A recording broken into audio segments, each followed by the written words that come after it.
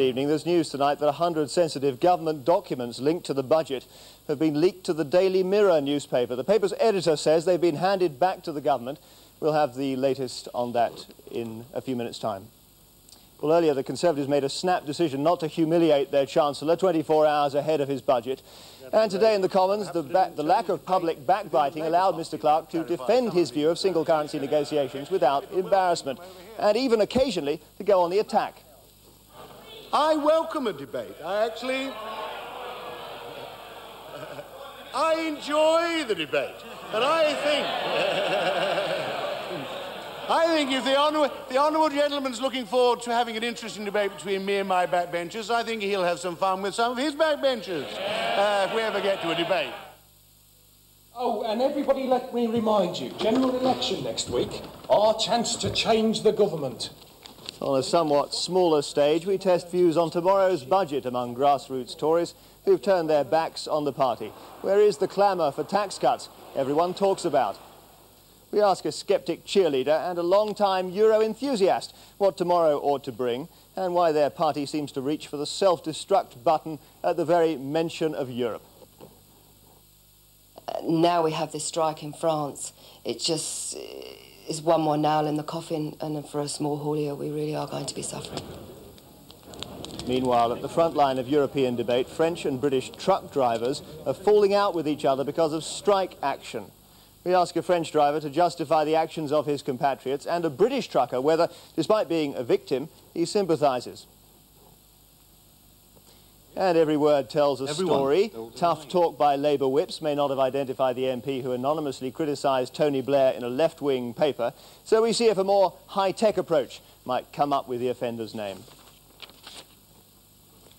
Kenneth Clarke dispensed with some of his normal bluster, adopted the most conciliatory tone he could manage and got stuck into the legal detail as he answered questions on the single currency negotiations today.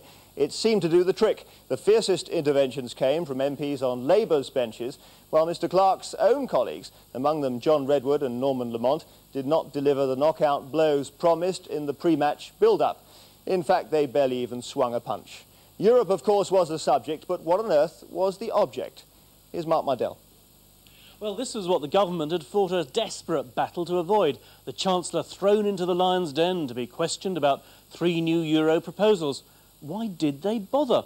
Mr Clarke, with his usual blokish panache, patted the beast on the head, stroked its mane, and then coolly jumped out again unscathed. But it would be wrong to think that no damage has been done to the government is the earliest occasion... For a start, Mr Clarke had to come to the Commons, and the splits were on full display. Growls of disapproval at one suggestion. Firstly, at some stage in the future, we might move to the third stage of EMU and adopt a single currency. As this government's always made clear, there could be advantages for this country in such a move. But the associated legislation on the details of EMU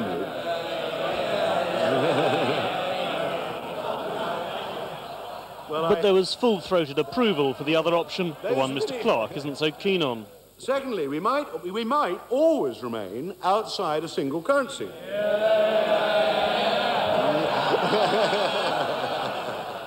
It seems the Chancellor can only chortle when confronted with the reality of what his party is like.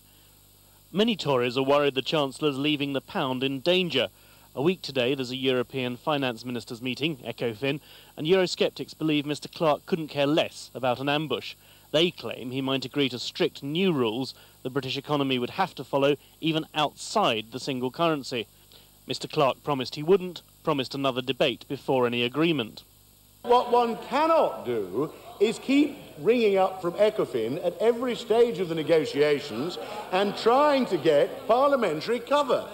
We must understand how we, negotiate. I personally would rather that uh, other member states did not know at every stage exactly what I was pushing for, exactly what I was going to withdraw, what I really meant and what was a try on, and what I was actually trying to secure. And a process of parli permanent parliamentary debate permanent parliamentary scrutiny and occasional parliamentary hysteria is not always in the national interest. Eurosceptics were bothered that mainly pro-European Tories were called to speak, but even their mood was different from last week's seething anger. This, um, unnecessary row could have been resolved much earlier by the granting of a full debate about an issue which the uh, Prime Minister himself said is the most important decision facing the country. Many Tory MPs have a love-hate relationship with Mr Clarke. They love Ken the Bruiser, who could win them the election with tomorrow's budget. They hate the man they're convinced is plotting to sell them down the river over Europe. It should have been the first Mr Clarke who was in the spotlight this week. The pre-budget planning was all prepared. Last Wednesday, the softening up, accusations about Labour's spending plans. On Thursday, a Commons debate about Labour's windfall tax. But by Sunday, the carefully prepared pre-budget spin was knocked off the front pages by this row. Are the Eurosceptics proud of themselves? Was it worth the fuss? Yes, it was. It was a serious crisis. We have got a great deal uh, of agreement. We have got a debate. We have got scrutiny of the documents. We have got changes to the text to prove that it doesn't apply to Britain. And we have got Ken Clarke agreeing to veto any attempt to fudge the entry requirements. That's a tremendous achievement for an afternoon. He's always most engaging and ebullient, and uh, you can't like, but, but like the man, and that's good because he's going to present a uh, an election-winning budget, we hope, uh, tomorrow. But nevertheless, these regulations can bind a successor parliament and successor governments. They are of immense importance, and to pretend otherwise is disingenuous. It was a barrister who specialises in European law, Martin Howe, who first alerted Eurosceptics to what he believes are big loopholes in the proposed Euro laws. He thinks they could mean real interference in the British economy. So is he satisfied with Mr Clarke's assurances? Well, to some extent, but there's one point that still worries me, and that it seems to me that he is willing to go along uh, with the use of uh, economic monitoring powers in the treaty in order to impose compulsory obligation on all member states to submit economic plans and programs, so-called reinforced convergence programs. And the danger with that is once we accept that in principle, uh, we've given uh, the other member states the power to outvote us and impose obligations on us on the kinds of economic plans that we have to formulate and submit to the Commission. But we also sat down in front of the monitors a pro-European city economist and asked him if the MPs were right to get so worked up about these laws. Well, if Britain is going to be in EMU, then it is very serious. And they should discuss it. If we're not going to be in, it doesn't um, have all that much effect on the UK at all. No effect? I don't see any particular effect. After all, membership in the ERM2 is, is voluntary no question about that. And the Stability Pact, we won't, that won't apply to us. Uh, we will continue to submit uh, convergence programs, as we have been doing for the past two years, uh, to show that our public finances are on, on a sound path. The House will get the chance to argue this subtle difference in a two-day debate either next week or the week after. Details aside, the government has been damaged. Yet again, after saying all last week there'd be no statement, today there was a statement. Most MPs blame the whips, but it's confirmed the Eurosceptics in their belief that if you hit Mr Major hard enough for long enough, he'll cave in. Jeremy? Well, thank you very much. Extraordinary development on the eve of the budget. The Mirror newspaper has said it's received 100 pages of Whitehall documents linked to the budget and detailing tax changes. The newspaper said it passed them back to the government, saying stock market chaos could result if the details were printed in advance. Mark, how serious is that? It, it is extremely serious. Obviously, governments of all kinds get used to all sorts of leaks that happen from departments. But budget is guarded very carefully. Uh, Mr Clarke abandoned a tradition of going into what they called purdah, not saying anything while he was running up to the budget. He, even like today, made a statement. But it is extremely serious to have a budget leak, especially something like this, which, if it's true, appears to be page after page after page, not, not just a, a couple of hints. Is there any precedent for it? Uh, not, not of a leak on this scale, if it really has happened, but something that did happen in 1947. The then Chancellor Hugh Dalton uh, told a journalist on his way to the Commons to make the statement uh, uh, uh one or two details, and that got in their late editions and, uh, or, and, and before his budget, and he actually resigned over that. So it's something that parliamentarians take exceptionally seriously. Ahmed thank you very much indeed. We're joined by John Redwood and Tim Renton now. Mr Redwood, you're a sceptic, of course. Mr Redwood, what you, we don't yet know what was in these budget documents handed to the Mirror, partly because they've given them back, but what would you like to see in them? Well, I'd like to see in the budget a penny off income tax. Uh, I'd like to see enough increases in public spending to do a good job on health and education and law and order, but a lower rate of increase than are in the current plans. I think we could do with a bit less than the 13,500 million increase they are currently forecasting. On the, on the, and I'd like to see help for families and help for the unemployed through a package to attract small businesses to recruit them. On the uh, question of the debate today, which you, mm. you spearheaded uh, the Eurosceptics in, uh, did you see it as a cave-in by the government? Well, I didn't accept your analysis of the situation. Conservative MPs are not trying to hound a Conservative government out of office. I welcome very much the fact that we did get our opportunity to cross-examine the Chancellor. We are getting an extended debate. He has promised that he will not commit us to anything at the finance minister's meeting. And above all, I welcome his promise that he will try and improve the texts of these regulations to make it crystal clear that they won't apply to us unless we want them uh, to apply to us. Well, very, very important progress. Just before we, go, before we go to Mr Renton, do you accept that the Conservative costing of, of Labour's policies, which was supposed to be the big news event last week, has been totally overshadowed? The budget's been upstaged, Mr Clarke has been embarrassed, and perhaps so has the Prime Minister, and all for what? Well, very important progress. We've now had proper scrutiny uh, of the Chancellor's arguments. We need to complete the scrutiny of the documents and have our debate. And we've also cleared up the issue of whether the Chancellor wants these things to apply to us or not. So I think that is most important. It would have been better if it had been done a week ago, but it wasn't, so I welcome the fact that it was done today. And we haven't crowded out all the other stories. You are mentioning the costing of Labour's programme, and that received a lot of coverage, and rightly so, because Labour remain the high-spend, high-tax right. party. Tim Renton, do you regret the manner in which this whole issue simmered up and, uh, to a climax in today's debate? I think it's pretty typical of the House of Commons. I mean, the fact of the matter is that committees do get very worked up about how, they're, how the things that they're looking at are going to be examined in the full House. And that's what happened on Thursday and Friday. In fact, I agree with John Redwood. I think it is a good thing that we had this mini debate today. And where I think there was a real change of mood in the House this afternoon is that on both sides of the House, but particularly ours, there is now a greater acceptance that EMU is likely to happen. And what we've got to learn is how to live with it, how to live with it in British interest. Is that right, John Redwood? Well, I don't think I'd quite put it like that, but um, I'm quite sure that France and Germany are determined to go ahead with monetary union. I do want Britain to have a bigger influence on whether it happens and how it might happen. Uh, because even with us outside it, it is most important that we don't let them go ahead with a scheme that doesn't work and damages their economies. Mr Renton, there is this sense shown in, in proceedings this week and last that if someone puts their finger on the button marked Europe, your party tends to go haywire. well, you used that phrase before, Jeremy, and I, I don't think that's right. Uh, Labour, for example, and all Gordon Brown did today was he gave no in incidence at all of where Labour would stand on this issue. He just tries to see how many Labour MPs he can keep dancing on the point of a pin without knowing which direction they're going. This was important to have this mini debate before the meeting of finance ministers next week. Ken Clarke made it absolutely plain that the Stability Pact, as it's called, which will govern the deficits of those countries that join the single currency, as long as we're out of it, it will not apply to us. But we, and this is perhaps one of the most important points made in the debate by one member of parliament, don't let us think that it'll be in our interest to hurt EMU, to make it not work, because it won't. Because our trading interests with common market European Union countries are so large now, 60% of all our exports in manufactured goods are going there, that if there are downturns in the European market because EMU isn't working well, then it is British manufacturers who are going to feel the pain. So, and that was a point that kept on coming over this afternoon. So, Mr Redwood, this two-day debate that is coming up, not before ECOFIN on the 2nd, but at least before the main Dublin summit, is this going to be a, a famous victory for Euroscepticism? What, what's it for, this debate?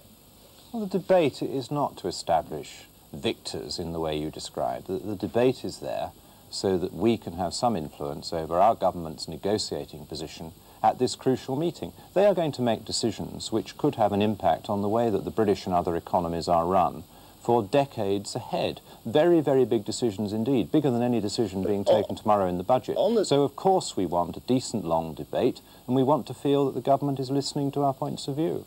On the specific question that you were talking about today with Mr Clarke, the, this business of actually trying to prevent Britain being penalised if it, mm. if it out, stays outside monetary mm. union, isn't that the kind of thing you could have settled by just having a word with the Chancellor in a Commons corridor?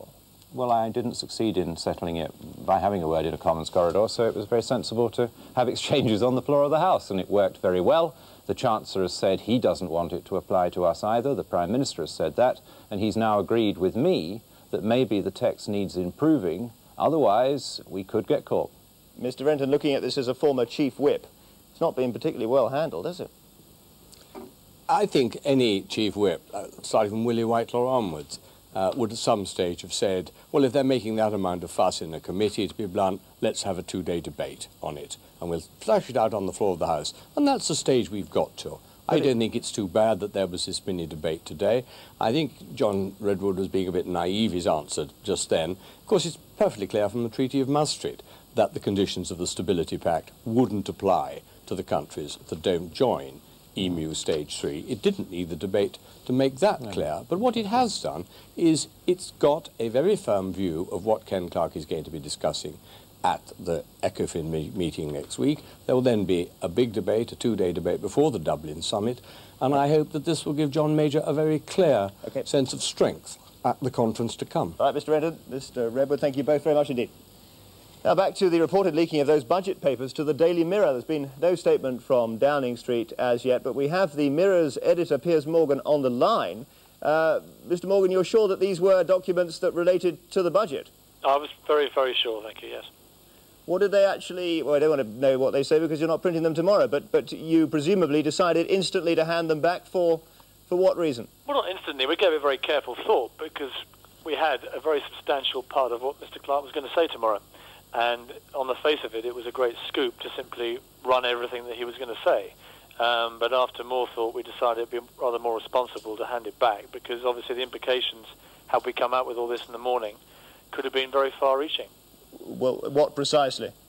Well, I think you can draw your own conclusions, but if we were going to start revealing the rate of income tax six hours before the Chancellor, I think we can all draw our own conclusions.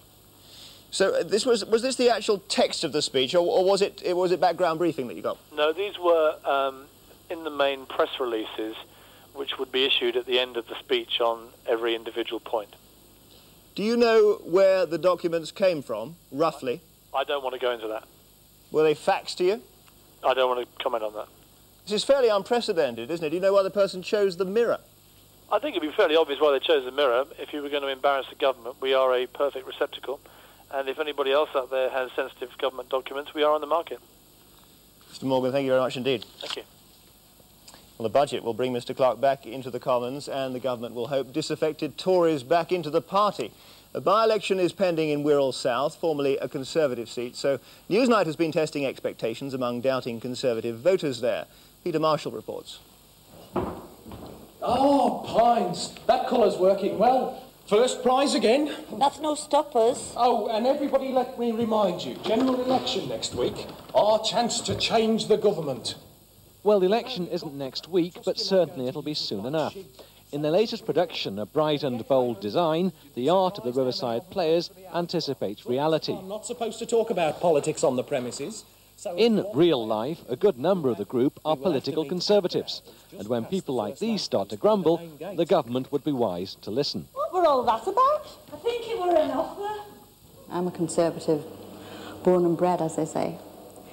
But I still think that they've made a lot of mistakes and I really can't see where they're going at the moment. Oh, and hers isn't the only voice of dissent. Where are the Conservatives, their Conservatives, taking them and Tory Wirral South? To me, politics is a private and personal matter. With the budget tomorrow, they're hoping for some decent, readable signposts. I'm not terribly happy with them at the moment. As far as things like education, I have a young family, so I'm hoping they're not going to alter things like family allowance. Um, I don't want them to, to see VAT on children's clothes, things like that. Um, in fact, I'd like to see the VAT rate lowered. I'd like to see uh, money for more teachers, many more teachers. I am a retired teacher myself, and how teachers are coping at the moment, I really don't know. And law and order. In the main, Wirral South is comfortable, fundamentally conservative suburbia. What's significant about the constituency now is that it could soon be the scene for a by-election. That would pass judgment on tomorrow's budget while pointing the way to the general election. So for a government defending an 8,000 majority here, pleasing the people of Wirral South suddenly looks crucial. Hello. Hello. Mike Williams has been running his computer parts business since John Major's victory of 1992. It's been tough, but he's survived and supports four children on the proceeds. Yet Mike Williams, hitherto always a Tory, isn't happy with the government. It's not that he wants more in his pocket, he wants investment in the nation. I don't want to see any tax cuts. Uh, I reckon that any money they take on the tax cut is going to be taken from somewhere else. Uh, so I would prefer that the money was actually put into education and health. Um, and that's, that's the main benefit for me. On, on the business side, uh, I suppose I can't currently afford things like um, private healthcare, so that's a major factor for me with the health service. If I go off ill, what can I do? This is also a place with a higher than average proportion of elderly. One in five is a pensioner. Here again, there's dissatisfaction with the Conservatives. This is at New Brighton. Edith Watson has always supported them, but now she's wavering. It's been a dreadful 12 months for Mrs. Watson. She lost her husband and could do without the nagging financial concerns. I worked in um, on the home help for the um, council for 14 years, and and then I had uh, an accident, injured my left hip, which um, I had a pension. So of um, April this year, I think it was, Mr. Lilley said that thirty pounds had to come off it, which left it with nine ninety. So between my pension and the nine pound ninety is what I have to live on. Um, I think to myself, through no fault of mine, I had that pension taken away from me. Um, you know, and this is what hurts me with the government. I've done my work, but they don't seem to be doing their work. From Edith Watson and all those unhappy Tories who spoke to Newsnight, there's a warning for the government and Ken Clarke. This could be the last chance to please their own core support. People who want to vote Conservative, who normally do so by instinct, but won't next time unless they get the budget they want. I- I'd like to read in the papers something, you know, that they're going to do something for us. We've done our little bit for the country in our younger days and in our older days, but um, they don't seem to be treating us right. That report from Peter Marshall. Tim Renton is uh, still with us. Mr. Renton, are you going to be able to give people like that woman what they want? I hope so. Uh, I don't know the secrets of the budget. I know less about them apparently than the, someone at the Daily Mirror does. But it's very natural for everyone, like those you were talking to, like Edith Watson in particular, should want to see something in the budget that helps them. It's interesting. Uh, I'm sorry to interrupt. It's, it's, interesting, isn't it, that people are, are, are not when you when you go out on the streets and you record interviews like that, you do not hear the clamour for tax cuts yes, that I, one has heard so often from your colleagues. Yes, I, I agree with that. And my personal wish would be to see that there would be some improved tax allowance for carers in the budget uh, tomorrow, because I think they do do an awful lot uh, to help, and I think that there is a possibility of improving their tax position. But that said, I would also like to see a, a, widening of the band of those who pay tax at only 20% and a lifting of the level at which paying income tax starts because personally I'd like to see help concentrated on those at the lower end of the income scale and I think that would help some of those who were talking from West Wirral. Mr Renton, thank you very much indeed. Thank you. Not for the first time, French lorry drivers have stopped driving and started parking in the most inconvenient places. And tonight their protest against pay and conditions is threatening to escalate into Euro gridlock. The lorry terminal at Calais has been sealed off to goods vehicles, forcing freight to switch to Zeebrugge instead. The port of La Rochelle is closed too, leaving only Cherbourg and Saint-Malo still open. French drivers have blocked the five main crossing points into Germany, and at the Clermont-Ferrand Spaghetti Junction there's a particularly bad bottleneck. In Toulouse they're even running out of diesel and unleaded petrol. We're joined now by our correspondent, uh, Paris correspondent, Kevin Connolly from Calais. Uh, Kevin, what is the latest in the situation there? Well, on a day when the mood of British drivers here has gone through every shade of dis discontent, from boredom to anger to frustration, very little in truth has changed on the ground. The port of Calais, as you said, is still blockaded. The roads leading to it are choked by parked French lorries. There's no sign that they're going to move. The French strikers say that nothing is going to change until they get what they want from talks in Paris, earlier retirement and higher pay. The latest we hear from Paris is that in truth there's very little sign that that is likely to happen. What's the problem with the negotiations? I think very simply the bitterness in all this runs back to the last truck drivers dispute here four years ago. The truck drivers then feel that they were made promises that weren't kept, and what you're seeing now is the pent-up bitterness left over from that dispute. They say they're determined to keep going, as I say, until they get what they want, and there's very little sign that the employers, in spite of the uh, intervention of the French government, is going to give way. So what about the role of uh, British drivers in this, Kevin? Because we, we gather that earlier on they were blockading ferries going out of France. Uh, are they planning to resume that tonight? Well, there is still talk of that, of course, but the British drivers' uh, action in blocking briefly the ramps leading to the ferries was very much a reaction to the failure here of the French authorities to clear the port of Calais. There's a sense that the French police, if you like, are more concerned with maintaining order than with breaking the blockade. And so, in a sense, they are helping the French uh, strikers to keep the British lorry drivers helpless victims here, caught in the middle of someone else's strike.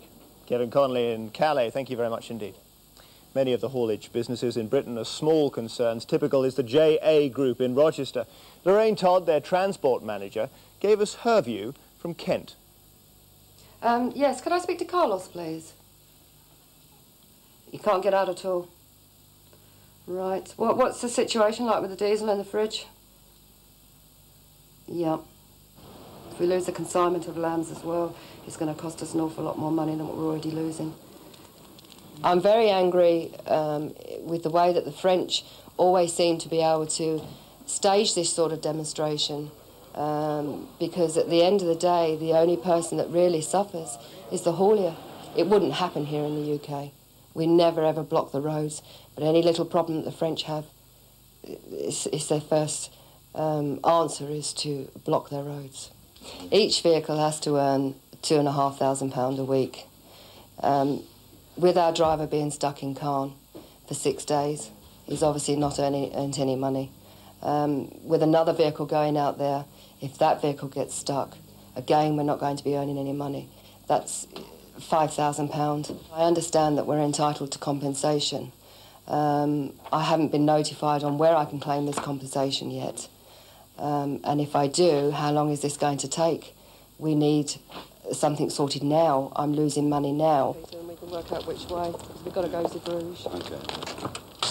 The problem we face with the beef crisis this year, plus obviously this week with the tunnel being closed, because that affects us with our time deliveries. Uh, now we have this strike in France. It just is one more nail in the coffin, and for a small haulier, we really are going to be suffering. We're joined now by uh, two participants in the dispute, by René Valadon, a senior, senior official with uh, Force Ouvrière, one of five French unions involved in the dispute, and also by Neil Harvey, who's the driver for MFL uh, Transport in Newcastle. Mr. Valadon, first of all, the, the uh, our interviewee there was saying that the first answer you seem to come up with is to form these blockades. Is that fair? Um, I don't know really uh, the situation of Calais. Uh, what I can say... Well, it's blocked in Calais. Yeah, what I can say. Uh, we give orders uh, and we want that uh, foreign truckers and especially uh, British drivers uh, can go through the barriers. But they can't go through? Yes.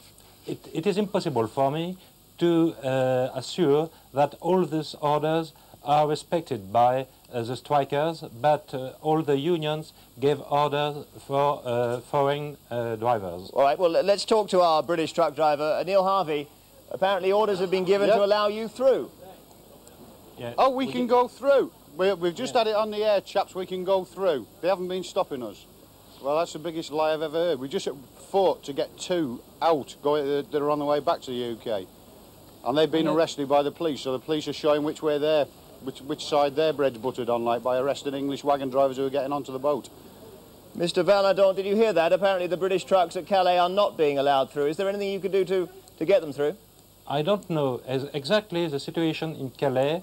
Uh, I don't know if uh, the ferries uh, are able uh, to, uh, to, to go to Calais. Uh, I don't know if P&O, for example, is not going to Zeebrugge, but uh, we have more than 160 buyers, and it is very difficult for everybody to know exactly the situation okay. in, on all the buyers. Let's, let's focus on, on, on what you do know then. Uh, are, you going, are you making any progress in your negotiations? Oh, I can uh, answer now because uh, bargaining, the negotiation uh, uh, began at 8 o'clock French time. Um, but uh, we hope, everybody in France hope that the negotiation uh, can have a result. Um, we can't, nobody wants to have uh, a strike too long. We have also a problem in France, and um, that it is not really a good situation for everybody. Mr. France. Harvey? It is very hard Well, for no, us. just a moment, Mr. Harvey. What do you make of that? And, and, and tell us while, while you're uh, answering to what you, you just. I heard you shaking your head at what Mr. Valadon was saying. You, you've of course made doing your own blockade down Well, there, there's, aren't there's you? not one. There's not one vehicle gone out of here today. We're not blockading ourselves. There, there's not one vehicle gone out. They've got concrete bollards across the road, wagons parked across the road. Nothing can get in or out. And if you try to go in or out, the police are stopping you, and you can't get past the obstructions Are, anyway. you, are you going to resume your blockade of the ferries tonight? I don't know. Well, Mr. no, Mr. that's Harvey. nothing to do with me, yeah? Yes? That, I say that's now nothing to do with me. Are British trucks likely to be blocking off the ferries tonight, Mr. Possibly. Harvey? Possibly. Do you think they've got just uh, cause to do that? Yes, I think we have. At least uh, today, blocking them's got actually got the government and the people in the unions talking to each other. Because they haven't been talking to each other and they weren't supposed to meet until tonight, but they did speak this afternoon. So we did get something moving. What would you say to but Mr. what he's saying... What would you say what to he's Mr. saying Valadon? about vehicles being able to go in and out, there's nothing gone in or out. Mr. Valadon, can you give, give Mr. Harvey there any idea of the timescale involved in these negotiations? How quickly you think they'll be resolved? we hope that this uh, negotiation must be have must have a result uh, this night. Uh, it is quite uh, it is very dangerous for all the economic situation in France also to have a strike uh, who, uh, which is going on uh, too long. Uh, we would like to have very quickly result, but our main problem is to have an organization of employers which be, will be able to discuss, to bargain. And we have not a very good organization of employers. Okay, Mr. Harvey, you don't look hopeful. Mr. Harvey, you don't look hopeful. Hello, sir. I'm not. I'm not. What, he, what he's been saying makes not two words of sense to us. All we want to know is what time we're going to be moving from here. Okay. Uh, he's saying we can move now, so we'll all I- go and get in our wagons and go. I don't think we're going to get that precise an answer tonight. Mr. Harvey, Mr. Valadon, No, do. I? Because the, the riot, the riot police have just moved in. As I came round the corner to the camera, they moved the riot police in round by the where our wagons are. Thank you both very much indeed. In a moment, two computer experts try to unmask the Labour columnist Cassandra. But first, some of today's other news stories. A daughter of the former Northern Ireland MP Bernadette McAliskey is facing extradition to Germany. The German authorities want to question Roisin McAliskey in connection with the IRA mortar bomb attack on the British Army barracks at Osnabrück last June. Now back to the reported leaking of those 36 budget papers to the Daily Mirror. Downing Street have still issued no statement, but one can safely assume a full leak inquiry is underway. As we heard earlier, there's been nothing comparable since 1947 when the then Chancellor Hugh Dalton spoke to a journalist half an hour before his Commons speech and had to resign. His Prime Minister Clement Attlee called him a perfect ass at the time. Short time ago, the Mirror's editor Piers Morgan told us he handed the documents back because of their extreme market sensitivity. He wouldn't comment on the possible source of tonight's leak. While the Chancellor kept his place today as one of the most brightly spotlit politicians at Westminster, another face has resolutely stayed in the dark. Whichever Labour MP it was who dripped anonymous poison on Tony Blair from below the masthead of the left-wing Tribune paper, he or she is in no mood to own up. Under the resurrected byline Cassandra, the article suggested Mr Blair was despised by his colleagues and might even be replaced by Robin Cook. Newsnight has had the writing style analysed by experts in Bristol who use the same computer system that outed Joe Klein of Newsweek as the author of Primary Colours, the novel that was not kind to Bill Clinton. And our experts think they know who Cassandra might be. So, what do we know about this Cassandra fellow? Something about the use of language. Yeah, the way he puts sentences together, the way he uses words. It's distinctive. Ungrammatical. Very lacking in grammar. Doesn't really narrow the field, does it? Has it really only been 10 days since Labour insiders started trying to piece together the identity of Cassandra? Whoever wrote the Tribune article must have felt time was passing rather slowly mm. as the uproar built, and the world wanted the name of the writer who said Tony Blair was so unpopular he could be switched with Robin Cook as soon as Labour took power. At Party HQ, the official line is, this is tedious and trivial. But the scores of racy news stories that Cassandra has spawned don't look that trivial with an election looming. And left-wingers are in no doubt the writer would lose the party whip if caught. The editor of Tribune is sworn to secrecy. His mystery contributor was taking no chances. I think the individual was worried about losing the whip. Uh, and of course, we now know that if the individual uh, should be uncovered, um, that's exactly what would happen. Uh, and there's, there's obviously no doubt that in the run-up to the election, the, the spin doctors of all the parties are policing the troops, uh, trying to ensure that nobody steps out of line and nobody says anything controversial, and perhaps nobody says anything particularly interesting. Uh, but that's, that's, that was the fear, uh, and th this individual stipulated that he or she should be referred to as a senior Labour MP. The editor's not talking, so who will? The suspects are all talking. Yeah? Everyone. They're all denying it.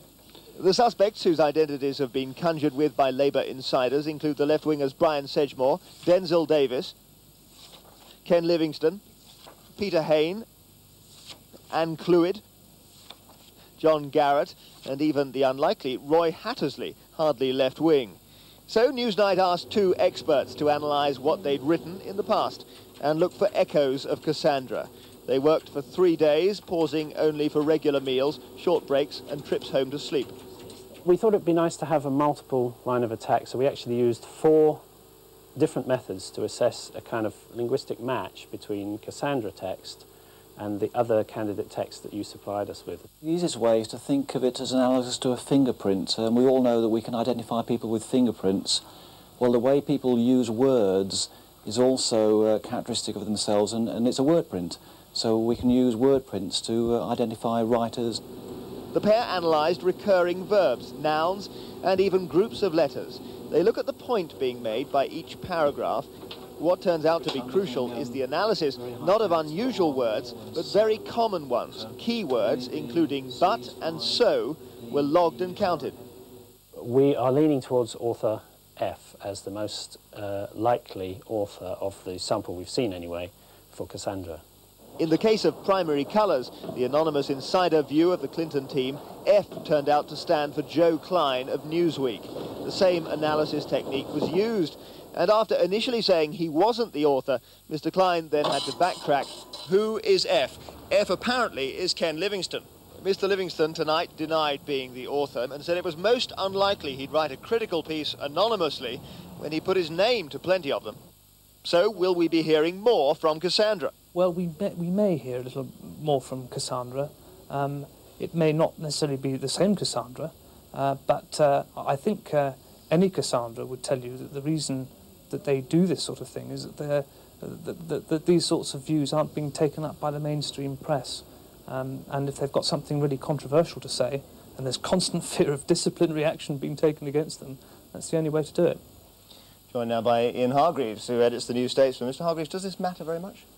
Well, not enormously, I don't think, but it's quite good fun. Um, although not for the um, perpetrator if caught, because they could lose the whip, and if they lost the whip, wouldn't be able to stand at the next election. So it's serious to that extent. I suppose the thirst for information on this person is, in a strange way, a tribute to the effectiveness of the Labour machine in disciplining so many people and keeping them from saying things like this. Yeah, well, a number of people were warned in the uh, schisms and controversies that attended the shadow cabinet elections in the summer, and there are a couple of people out there on yellow cards already. One of them is Ken Livingstone, I think. And this would be a red for him?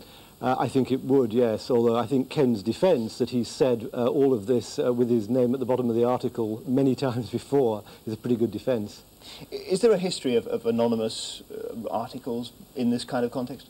Long and distinguished one. Uh, great English radical Thomas Paine uh, signed a lot of his articles Common Sense and helped to foment a couple of revolutions, one in France and one in America. Well, the key question is whether it's, it's healthy for, for Labour to have this going on, because presumably people talk about invasion of the body snatchers and everything if everybody parrots from the same hymn sheet.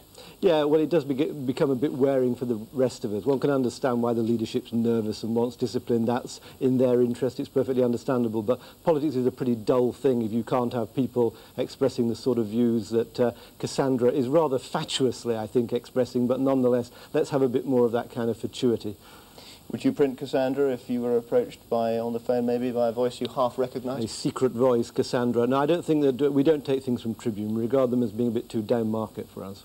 What about the idea of this loyalty oath that Labour have been, some people in Labour have been talking about? The idea that actually there could be some formalised procedure whereby an M MPs would have to maybe even sign something that says if, if you are too disruptive, then you face certain penalties, and then after they are, the organisers can say, well, you knew what was coming.